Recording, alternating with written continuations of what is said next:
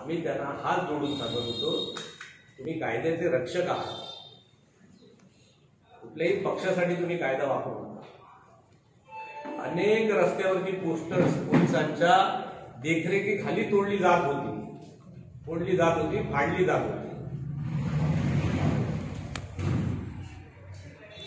हे सगळं बघून मन उद्विग्न होत होतं. आम्ही अटकेला घाबरत नव्हतो. शिवसेनेने अटक करावीच हे आमचं चॅलेंज होतं. नंतर महाडमध्ये नेल्यानंतर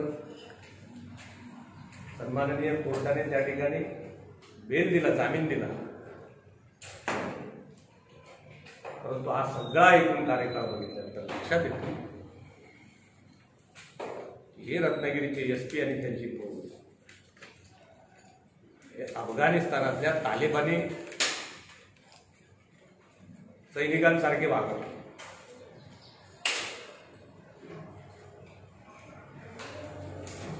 बरं झालं. मला माहीत नाही. अनिल परवांचा घात कोणी केला? उजवीकडे बसलेल्या माणसाने का डावीकडे बसलेल्या माणसाने? कारण या दोन्ही डाव्या उजव्यांना माहिती होतं.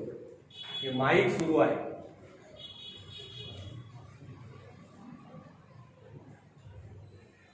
आणि मी तुम्हाला जाहीर सांगतो हे दोन्ही डावीकडे उजवीकडे बसलेले असून दिसलं यांना अनिल परवांचा काटा काढायचा.